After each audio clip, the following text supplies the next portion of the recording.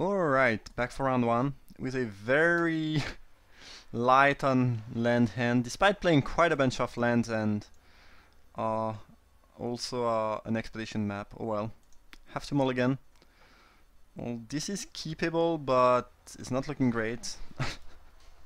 Holy cow. Geez, that one lander kind of hurt me. I kept the forest because I, I really I really need the green and actually with all those lands I can cast anything in my deck so unless I I mean I hope I don't draw more lands but if I don't I should be doing fine.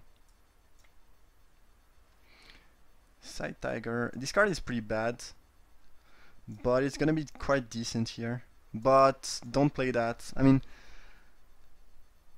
I really I'm not I'm not saying that. I mean I can understand people thinking that it's good but I think I have enough experience with that set to know that this card is just not good enough. But since I don't have anything going on right here, it could be decent for the opponent. I guess we'll see. I mean, I'm saying it's not good, but I could see that killing me. I mean, in 7 turn I'm dead if I don't drop a creature. But yeah, I really remember that card not being good. The drawback is just quite huge. Ondu Cleric is fine if you are playing allies, otherwise not very appealing. Ior Ruin Expedition, fine. I don't really want to Hideous End the Cleric now anyway, so I'm gonna drop that instead. And yes, and pass the turn. Go down to 14. My deck is kind of slow, so Scythe Tiger might do uh, a good job here at beating me down. Not much I can do though. Next turn I guess I can just hardcast a more Mold Shambler. I might actually do that. Yeah, especially since the opponent did not play anything relevant. I, I'm, I'm drawing two next turn. I don't have double green yet anyway.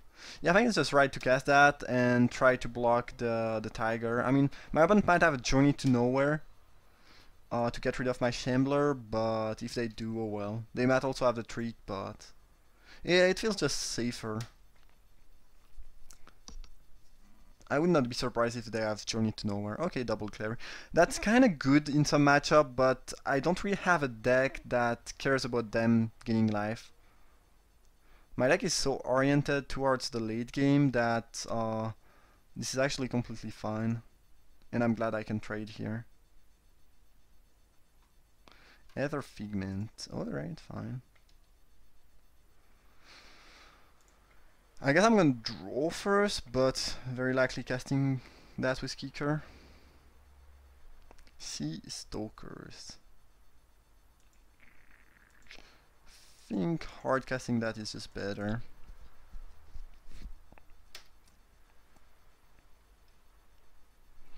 Like my opponent doesn't really have anything I want to tap yet anyway.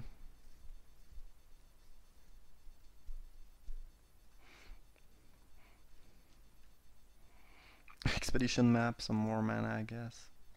I don't really want to Harrow yet, I'd rather keep that for if I draw, uh, you know, another expedition or my Roil Elemental or anything, but here it doesn't seem like very useful. I think I'm just gonna drop the Sea Stalker,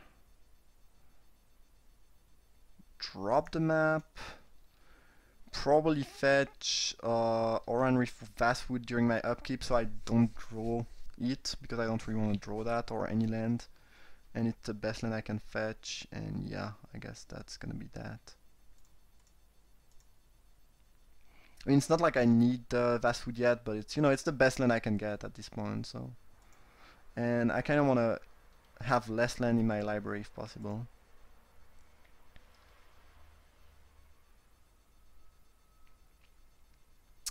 Could attack with both creature. If I attack with that and, and they have a pump spell is... I don't actually care because I have Hideous End Yeah.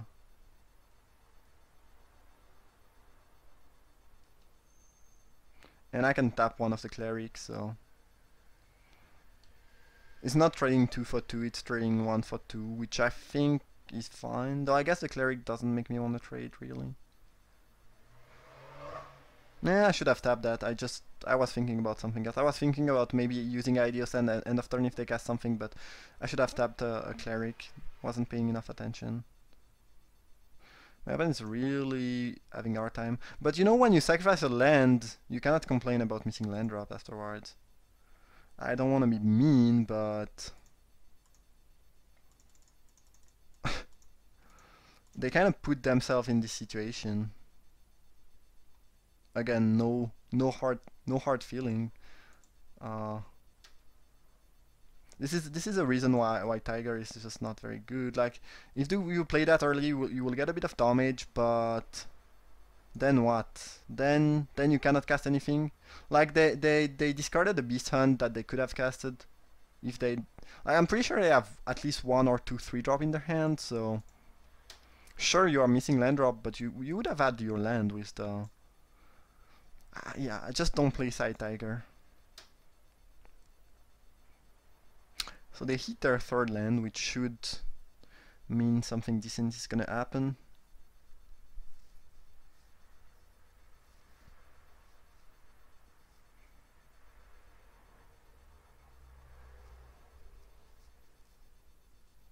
If they attack, I'm blocking. Don't really care about any trick they could have. Another Harrow. I guess it means I can play my land because I'll have enough landfall anyway.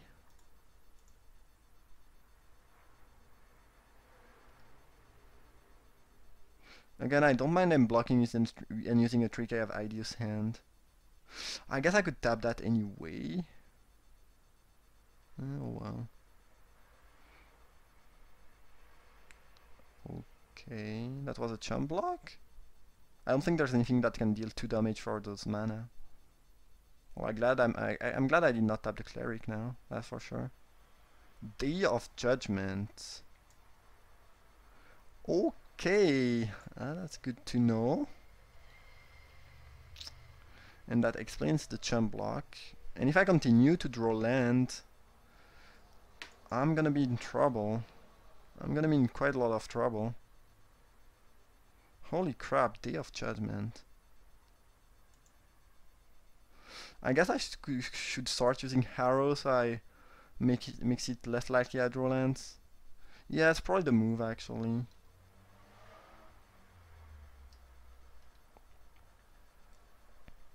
It reduces my chance to draw land, and again, given what I have, I just have enough ways to uh, trigger the landfall, I think. Green Weaver Druid, that thing is not looking great. Do I want to kill the Glade Heart?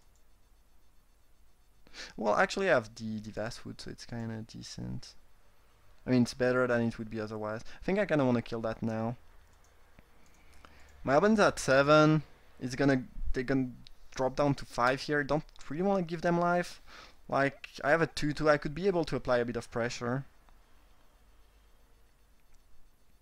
I think keeping one Harrow in hand is fine though because of a potential Expedition top deck or if I top deck my Roil Elemental.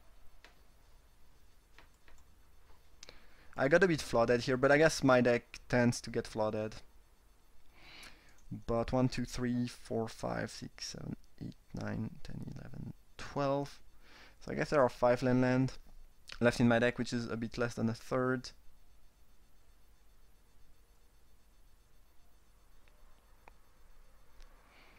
Or a bit more than a fourth, if you will.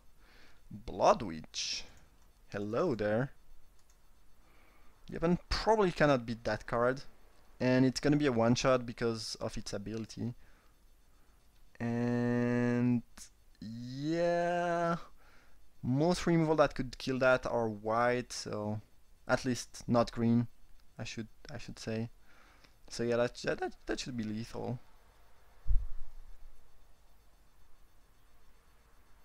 Unless they have another day of judgment. I did not remember that there, there was a day of judgment came from that set.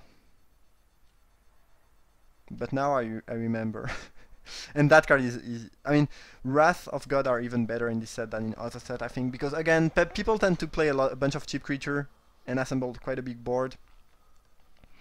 So, okay, that's good to know about though.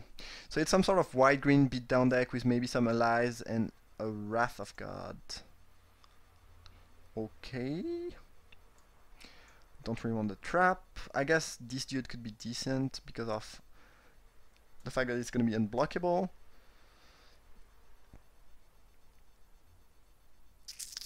Uh, this is kind of good against Wrath of God, but I mean Day of Judgment, not Wrath of God, but I don't think it's great.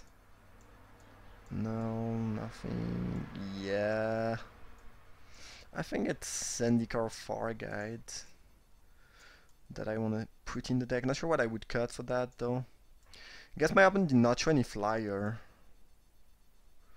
White, I mean, white has a few flyers, but not that much. I think makes up for a pretty poor spider.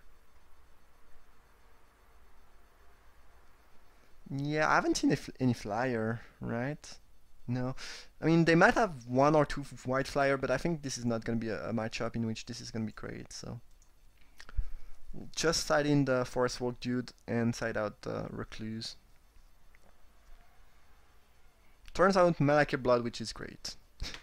Especially once the opponent used their Wrath of God already. That that does work. Come on! Give me lands. Uh, I almost want to keep that because if there's one land on the top two cards of my library, three cards I guess, it's amazing. Uh, I'm gonna keep it. It's risky, but uh, on the top two cards, not three.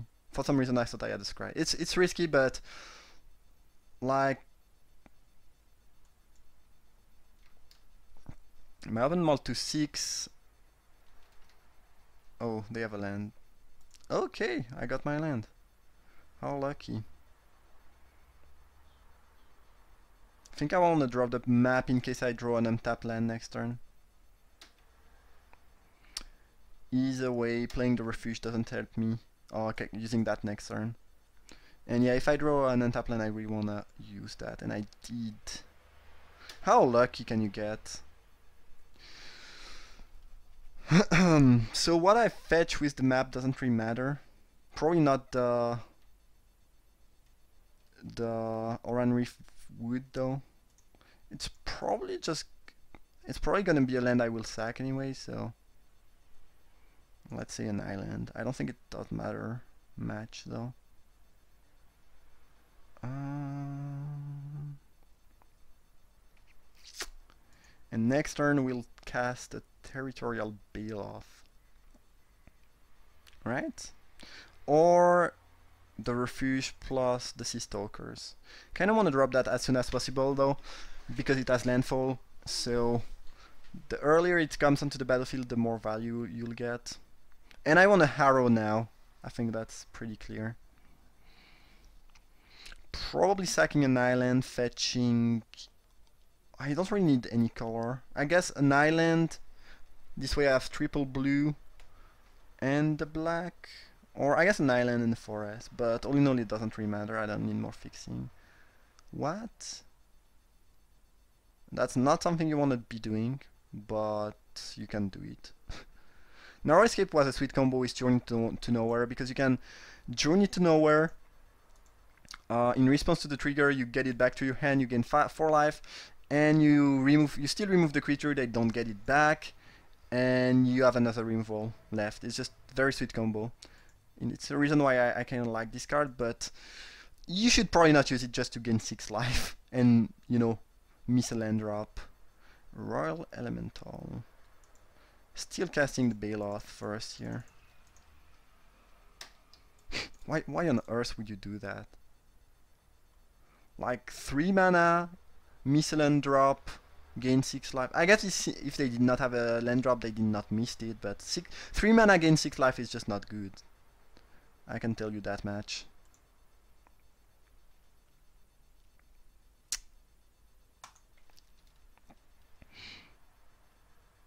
Mm, mm, mm, mm Alright, you got me. Ooh. Mr. Druid, I like you. A little bit. I'm still dropping my land because I, I might want to play the Elemental next turn. Now, should I play as a Figment or the Sea Stalkers? Either way, I will be blocking with my creature because I don't mind if it dies. I have a discovery. Um, I think it's the Figment. First, because it uses my mana better. Uh, second, because uh, again, I don't mind blocking with it.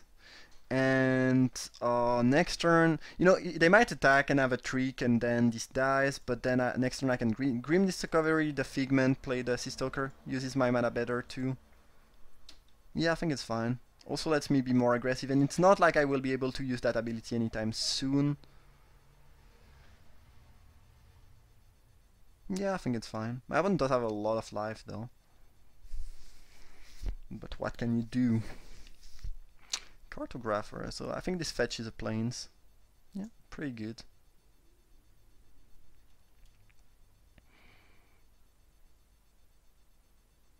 So I guess I can drop the elemental and start stealing stuff. And then I force them to use a Wrath of God, or they lose.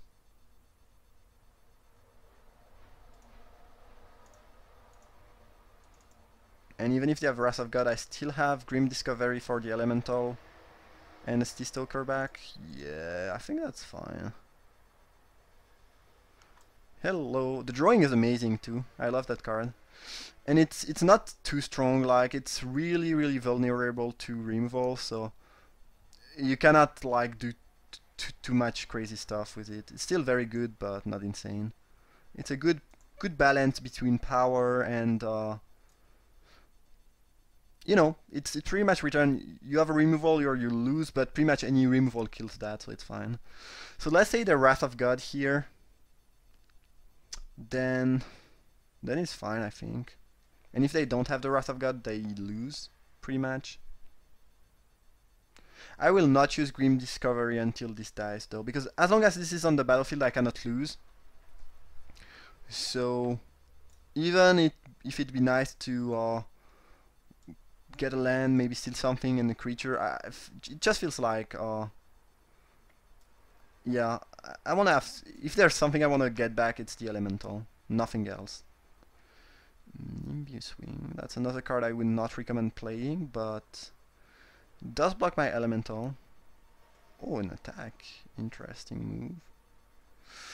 Well, I don't mind making the trade here.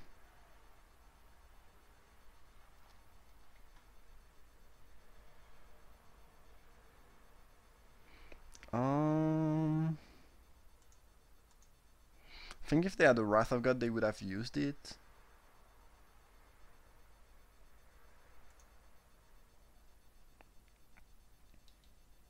I can afford to attack with the Roil Elemental. I don't mind if they have a way to kill it. And... Yeah... I guess I can drop the Green Weaver Druid. It's not the thing I really need, like if they have a Wrath of God it's not the end of the world. And it gives me lethal next turn if they attack with that, which I think is quite relevant. Don't really want to drop the Sea Stalkers though. First, they don't interact with that. Second, I want to keep them for if they have the Wrath of God, so... Yeah. I guess if they attack it means they have Wrath of God. Otherwise it'd be a bit weird. And if they do, oh well. We'll be both at 11, but I'll get back my Elemental plus land and drop the Sea Stalker. No Wrath of God. Okay. Interesting. So maybe they have the arrow volley trap. Could see them having arrow volley trap. They probably have arrow volley trap, otherwise this tag doesn't make much much sense. Uh, I think I will just attack with Baloth and Aether Figment for that reason. Now that I have stole something, I don't really want to lose my Roil Elemental. Maybe they have nothing, but I don't think it's very likely. Or maybe Cobra Trap. Okay, yeah, this is not what I expected. It's fine though.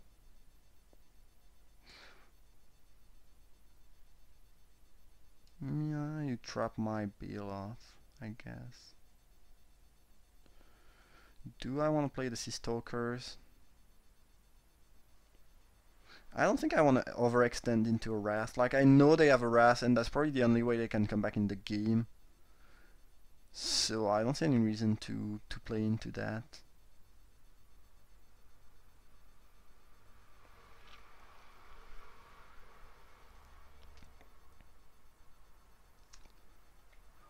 I don't really see any out for the opponent here though.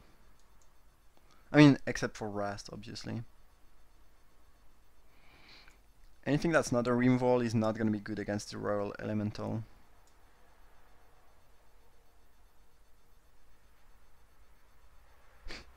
Jeez, the, the text is amazing. a vortex that devours everything, even the souls of the living. this thing is no joke. It's clearly no joke. Okay, so this gives vigilance to all allies. It pretty much doesn't do anything right now. So now that the opponent cannot have the trap, I guess I'll attack with all my flyer slash unblockable creature and kill them. I will also attack with the Baloth. I don't mind trading that for three snakes if they want a triple block. I don't think they can do a whole lot of stuff for white green though regarding my flyers and my uh, unblockable creature and they just conceded I think. Alright. So that was for you a first round of uh, Triple Zendikar. Maybe you're familiar with the set, maybe not. But as far as I can tell, Cobra Trap is playable but not good.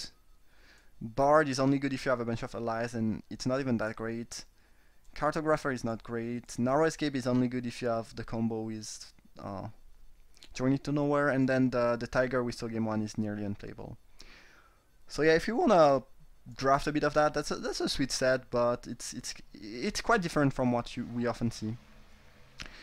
So yeah, hope you guys enjoyed and see you uh, for round two.